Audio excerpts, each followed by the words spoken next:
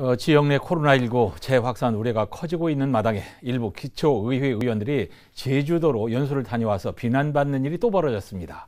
자, 이럴 때 의원들이 늘 하는 변명이 있죠. 미리 계획된 일정이었고 선진제 견학을 하러 갔다는 변명.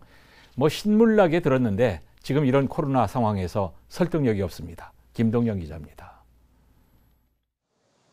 울산 지역 내 코로나19 재확산 우려가 커지고 있던 지난 19일 북구의회 의원 6명과 사무과 직원 13명은 2박 3일 일정으로 제주도 연수를 떠났습니다. 명목은 교육수강과 연계관광지 견학. 당시 지역구인 북구에는 일주일 새 코로나19 확진자가 2명이 발생해 재확산 우려가 커지고 있던 시기였습니다. 그러나 북구의회는 필수교육 이수를 이유로 제주도행을 강행했습니다.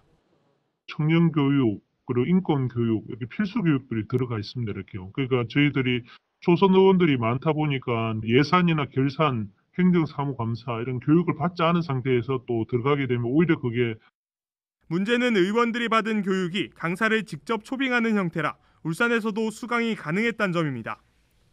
일부 의원은 지역 코로나19 재확산을 이유로 참가를 포기해 내부적으로도 결정 과정에 논란이 있었던 것으로 드러났습니다. 이들이 떠난 연수에 들어간 예산만 1,600만 원, 모두 세금으로 집행됐습니다. 8월 15일 날 강복절 행사에 참여했던 울산 사람이 500명이라는 이야기를 듣고 더더욱 불안해하고 모두가 긴장해하고 조심하자는 마당에 그것을 책임져야 될 북구의 의원들이 연수를 강행했다는 것, 그것도 주민들 몰래 갔다 온다는 것은 말도 되지 않는다고 생각합니다. 중구의회도 같은 기간 제주도 연수를 강행해 같은 지적을 받고 있습니다.